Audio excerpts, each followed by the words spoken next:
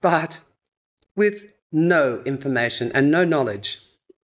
Pictorial evidence, but limited testimony of the people who lived there and worked the land. My whole series, Celestial Spaces, was about the gaps. Acknowledgement of the capacity for my discipline, photography, to document so much but reveal so little without a narrative. So, this is Kiandra. So, this paddling pool on the left is what covers this land that I saw and I have never seen another photograph of. So, these are paddling pools constructed by the Chinese specifically for searching through the water for gold. This was a particular technique, and it was a technique that um, was problematic because it used the water that other people had already looked for the gold and then maybe found some gold. Bit of an issue. So I combined these um, sheds, they're called in archaeology, not shards, sheds, um, from my university has two digs in Kiandra. And so you can see I'm pushing these things together, but of course they don't go. There's a, there's a gap.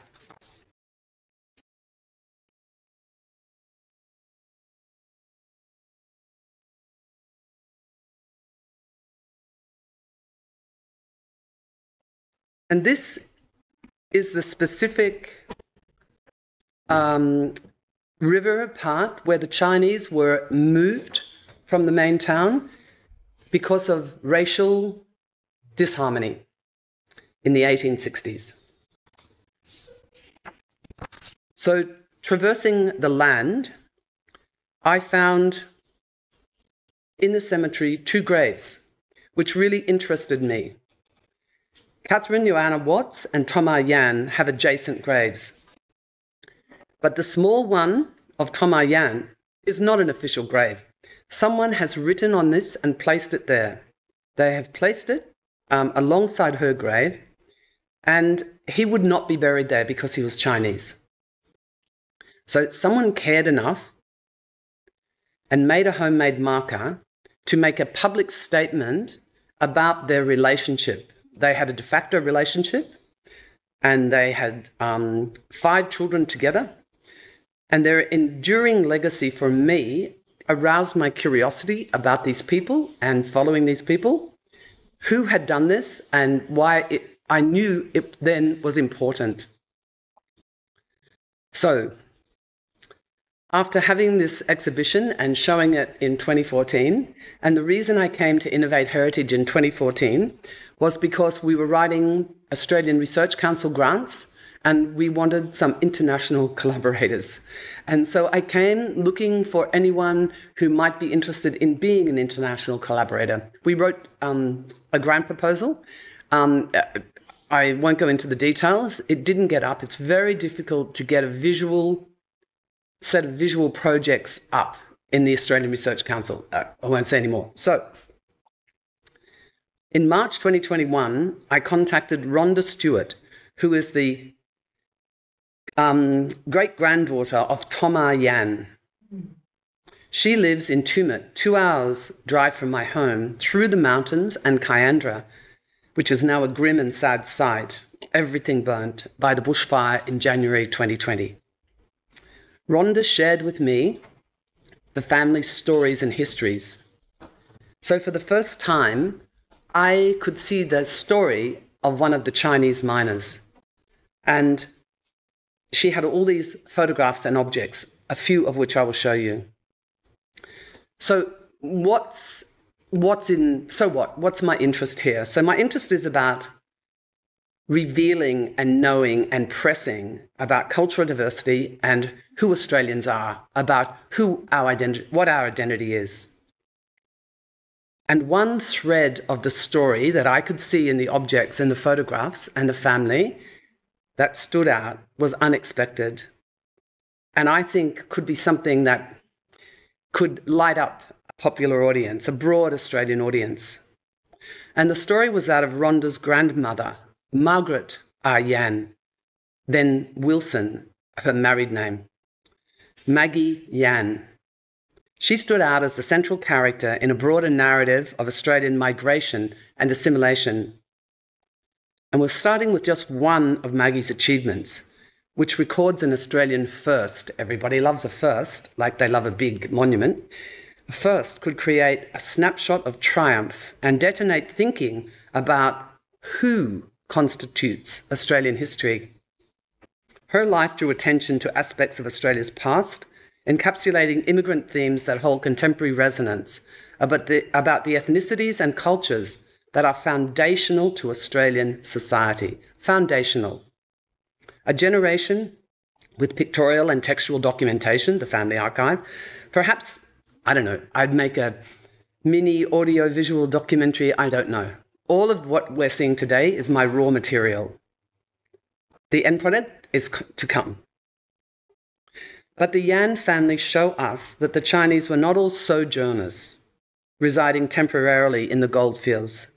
Their descendants established lives in Australia. They are an integral part of Australian history. They endow us with multicultural heritage, not just in the present, drawing attention to unrecognised long term diversity and their incredible contribution. So, the people. Maggie Yan.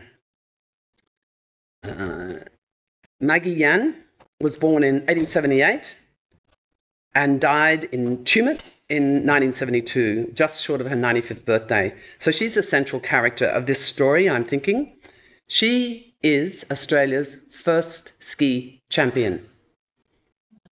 Her mother is German and her father was Chinese. I love this. It just gets me every time because we think they're going to be Norwegian or Swedish or just Australian. No, they're Chinese German. I love it. It's fantastic. So, when I saw this, I was just like, and we've seen these pictures many times, but no one identifies Maggie Yan in these pictures. She's second from the left.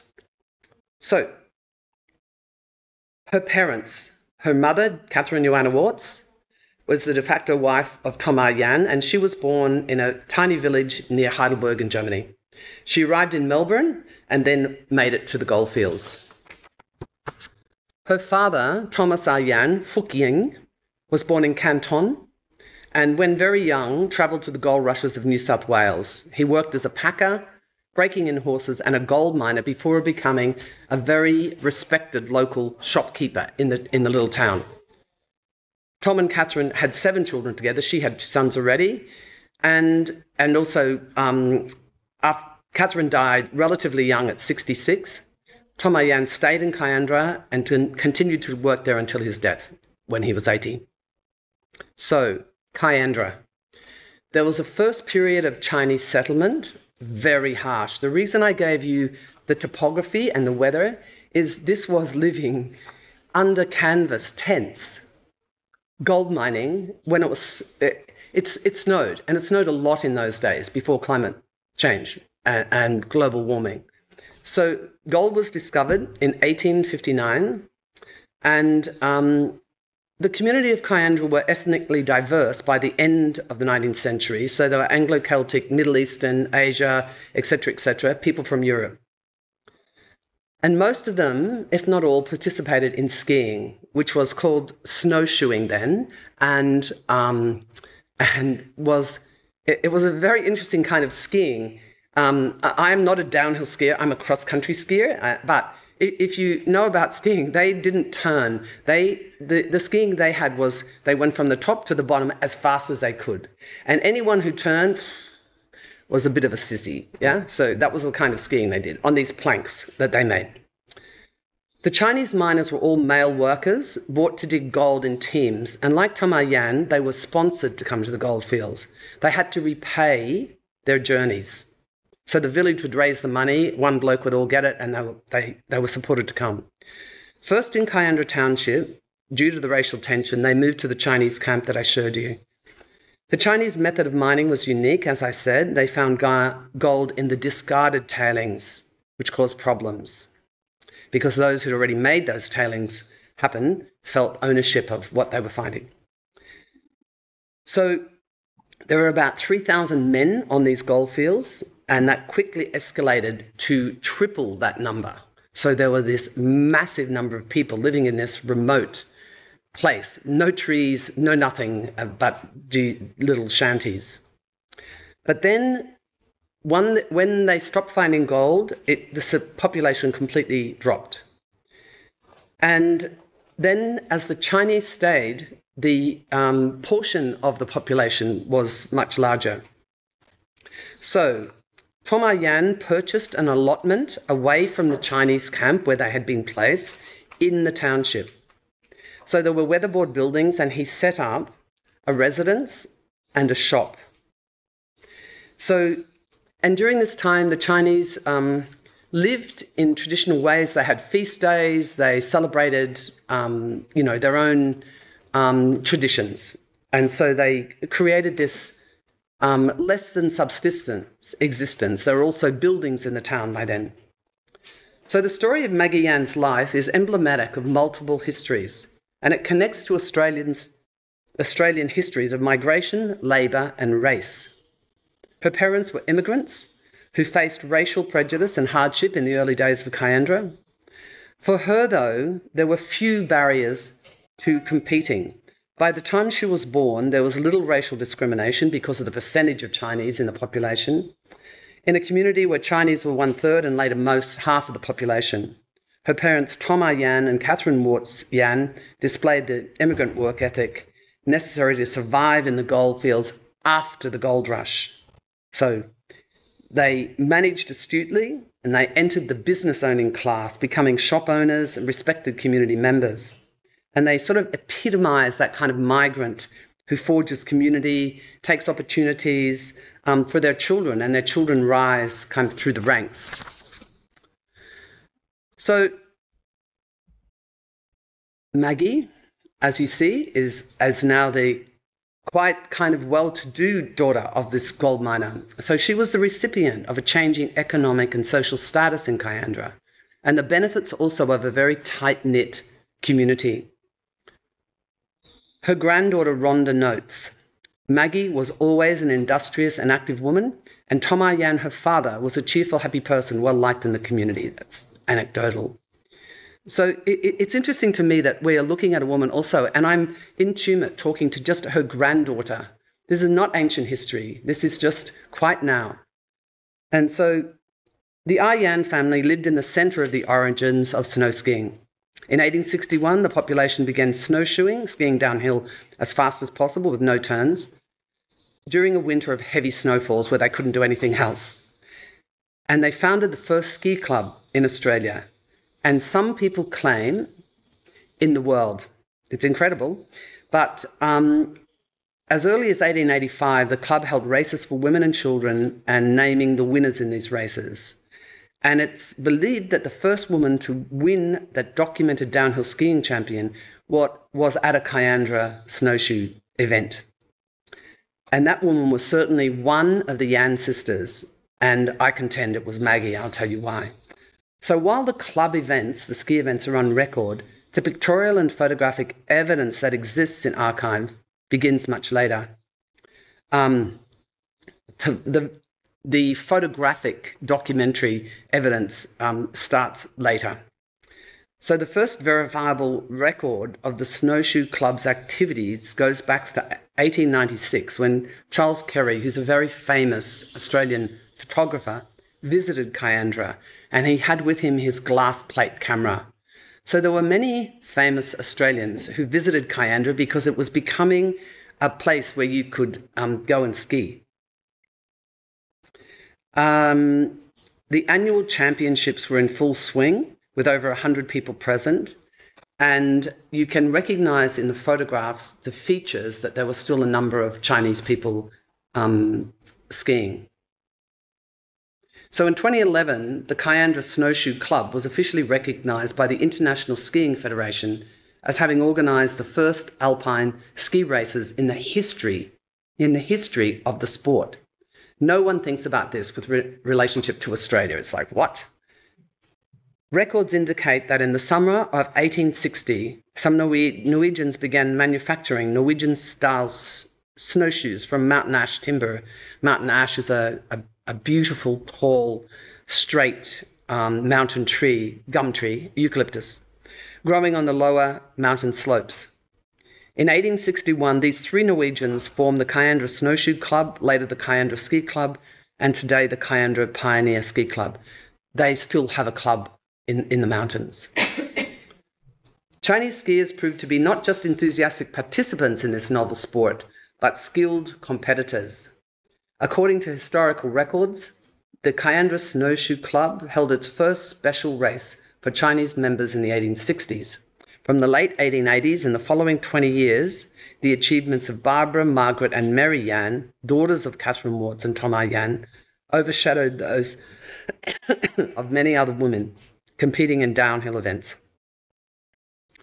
The Cooma Express on, in August 1895 describes Maggie Yan as a perfect artist on the shoes. That's her jumping.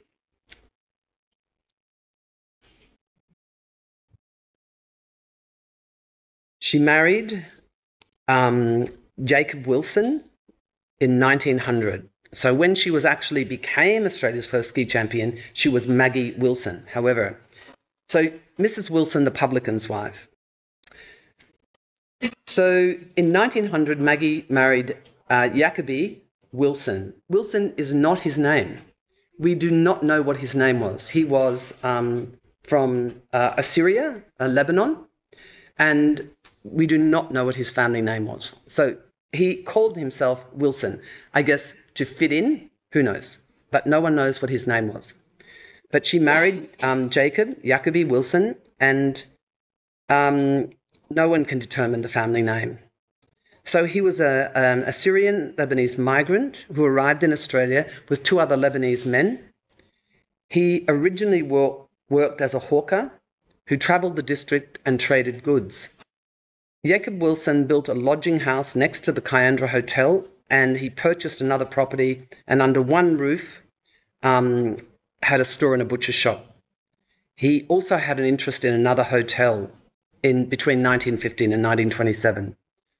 So between 1904 and 1917, Maggie and Jacob had five children, all born in the little tiny receding township of Kiandra. So,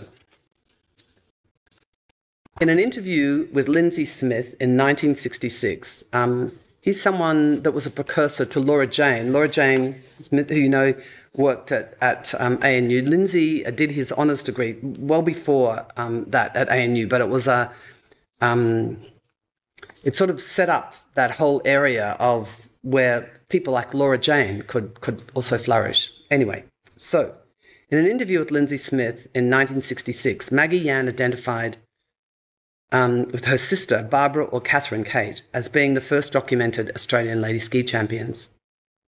But it is Maggie Yan Mrs. Wilson, in 1909, who won the Butter Dish Trophy that we see here, and the Ladies' Championship four years in succession. And some sources also say she was the champion for seven succeeding years.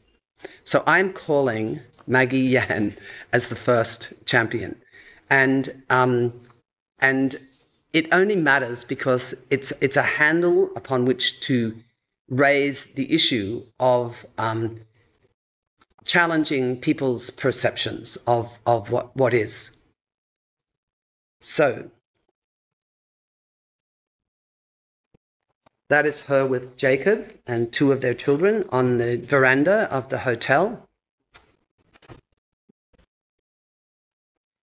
And that is her in the entrance to the hotel. You can see the, the kinds of skis, how they pinch in the ends.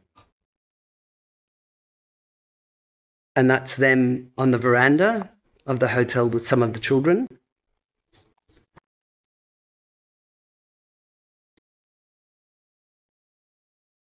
So I've done this to this photograph because the photograph on the left, everybody's seen. It's kind of on postcards in Australia if you want to buy a historic something. Um, no one, no one has ever mentioned the Chinese woman in the background.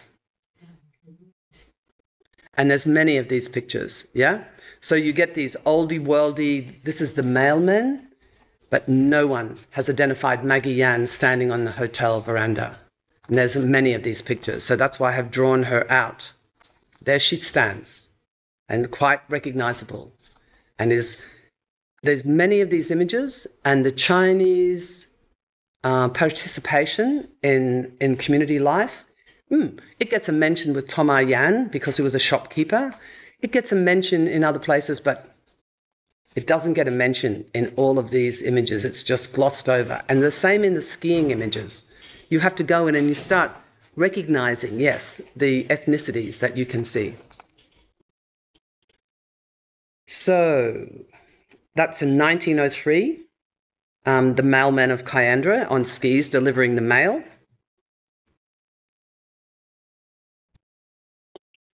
And that's a ski group on snow. This is seriously what they skied in. Um, and I, Maggie is second from left, I'm pretty sure. Okay. So the Kiandra guest book, the Kiandra Hotel guest book, is another thing that is owned by the family, and it's it's, it's an amazing document because um, it's held by the Stewart family, and they showed it to me. It's a large leather book, and there are people who have signed and made comments and compliments. And what's really heartfelt is a comment by an eminent Australian poet called Banjo Paterson. Now, Banjo Paterson is, I, I can't make an analogy, but Banjo Paterson is like the bush poet of Australia. Like he's the man, right? So he visited that hotel as well. And his comment in there is about very long comment about the scourge of racism. And it's signed by him. And he makes these comments about Jacob and Maggie, how spectacular they are in their hospitality, and about how we should refute racism, etc. And this is a, a wonderful thing to read from Banjo Paterson in this, in this book.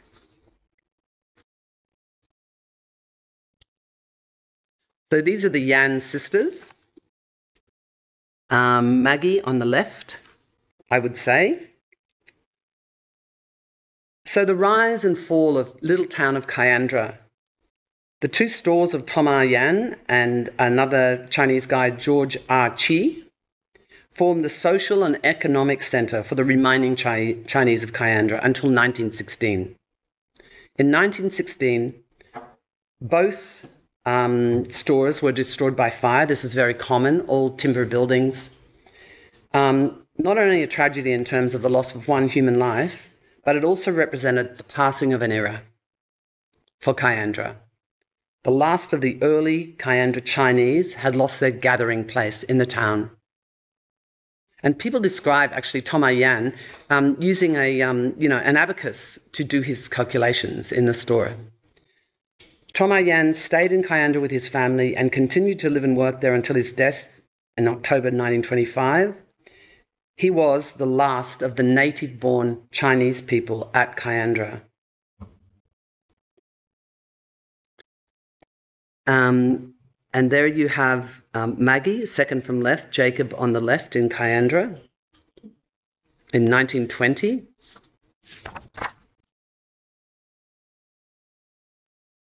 So in 1916, Maggie and Jacob sold the Kiandra Hotel and they left Kiandra for Tumut, where they started to manage a commercial hotel. Jacob died when he was 87 and 57, and Maggie died in 72. Maggie's granddaughter, Rhonda Stewart, told me a story about showing pictures of Maggie to her cousins. And I think this encapsulates why I want to pursue this little project. When she showed them the photograph of their grandmother, Maggie Yan, they were astonished and they said, But she's Chinese. And Rhonda's response was rapid. She looked at them and said, And so are you. The story has an arc that is visually ripe and relates multidimensional tales, carrying resonance for Contemporary Issues of National Identity. Maggie from Kiandra. a Chinese German descendant, a woman with a sporting success first, an Australian ski champion, is part forgotten history through assimilation, but also through highly selective telling. Maggie, with her husband Jacob, are local identities, and hoteliers in Australia are the local identities. Like it's a very important um, role to have in a community. People are strongly judged by how well they are as people and as hoteliers in Australian communities. Their difference was recognised, but also defended, strongly defended. So here I've just begun to sketch Maggie's life. And I'm considering, because I make exhibitions, I make pictures, but I'm considering how to um, form this life. It's still at, as I said, a very just the ingredients stage. Whether I make an exhibition, probably not, multimedia production, etc. But the Maggie Yan story represents compelling but missing historical narratives that are really important to our authentic concept of nation. And in my imagination, perhaps a story for popular consumption, resetting, resetting our assumptions about Australian identity and maintaining our perspectives on diversity, which is so critical right now. Thank you.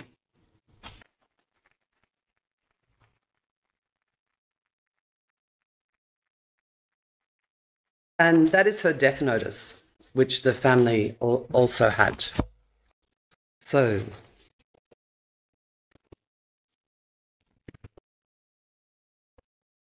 me. Uh, I really appreciate Dennis, your presentation. Thank you. Very, very nice. Thank you. Uh, quite moving. See, yeah, I started to feel like, oh. It's, it's interesting this uh, uh, operational deconstruction of uh, some of the uh, classical concept of modernity, which sì. such as the concept of a nation state, and sì. also grounding it in a real, uh, you know, in a real narratives, which are uh, which which for many years we consider residual to the concept of modernity. Sì. So thank you for that. I think it's uh, not far from what Pablo and uh, sorry, Emil. Emil presented. Just uh, through heritage, we, we, you, we can use the heritage as a um, conceptual tool to deconstruct some of the, um, you know, uh, class very uh, structured, but uh, uh, sometimes, uh, which sometimes removes important history with H, with sí. the micro H, sí. which are um, the, the, the, fertile terrain where we uh, grew up. And this is a, I think this is the the, the moment also historical because uh, now nation state is becoming a game. Yeah, uh, absolutely. Uh, yes. Absolutely, where I live, and this is quite specific, which surprises me because I am I am not a historian. I have no interest in being historian, but um, this story it, it is um, when it it came to me or when I found it.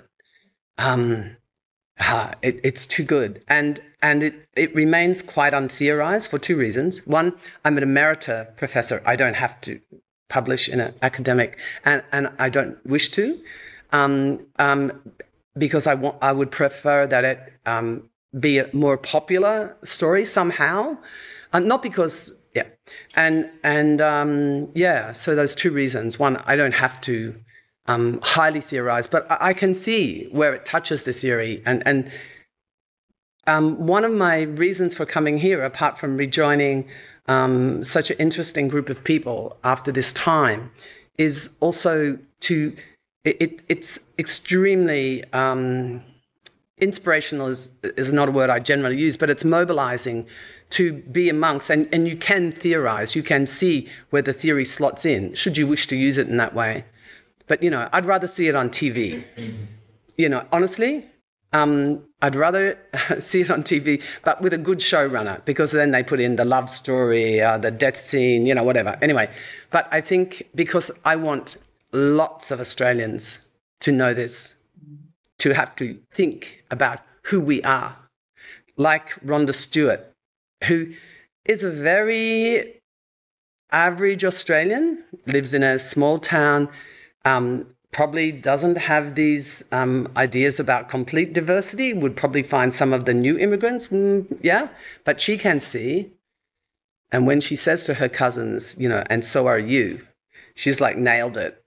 And yeah, I want this. You know what comes to my mind? Uh, a book I wrote in the 80s, which was written by a historian, um, Terence and uh, in a history of humanity. Ah, Starting every chapter with a story of one person. oh, that, that's so interesting.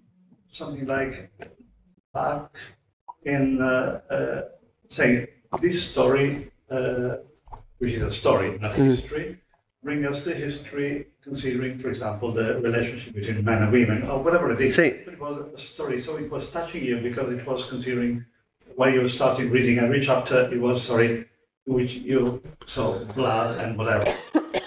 it was not a general statement like a not battle, See, etc. see. It would be nice to uh, imagine an intimate history of Australia. Yeah, that's so interesting. In some way people, trails, stories, and then understand why in that uh, time layer there was something happening at different level. Yeah, that's a really good reference. You know, my photographs um, of all kinds, all the exhibitions I have, I never, always untitled. You look, you figure it out. Yeah, it's not for me to tell you. Yeah, but in this instance, I can see the power of story. Of course, my pictures always carried story, but it was an open, malleable story. Whereas now it's really important to drive it home. Yeah, but it's because my, uh, uh, also talking about photographs, normally we so much used about, that's another cultural convention, the idea of labels. You go in a museum and you watch a painting and there's written something like name, See, date, oil on canvas, which is something either useless uh, or you already know it. see. So it would be nice to say some story, even two sentences could be much more eloquent See. for the viewer. See, yeah. So I'm, yeah, yeah. Thank you, thank you. Okay. Yeah, thank you.